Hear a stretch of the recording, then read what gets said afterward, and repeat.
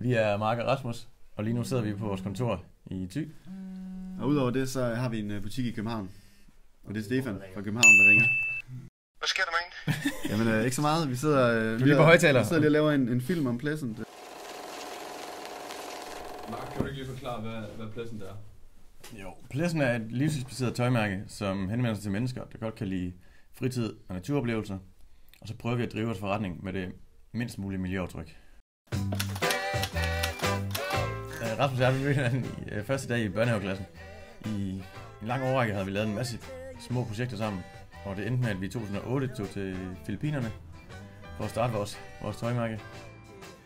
I ventetiden, mens vores t-shirts blev produceret, der tog vi til en lille bitte tropisk palmeø, som hedder Chagao, som på daværende tidspunkt bare var en rigtig ukendt ø. Og her, der øh, lærer vi at surfe. Men øh, vi, vi lærer ligesom også øh, den her livsstil og kultur, som øh, der er forbundet med, med surfing. En kultur og en livsstil, som er meget sådan naturpræget. Meget øh, fokuseret på øh, at tage en dag i gangen. Det er gennem den her tid, at Make Wedding Pleasant bliver skabt. Jeg tror, alle mennesker kan relatere til at, at være i en venteposition. Og vores øh, budskab er nok bare at, at huske at, at nyde den proces også.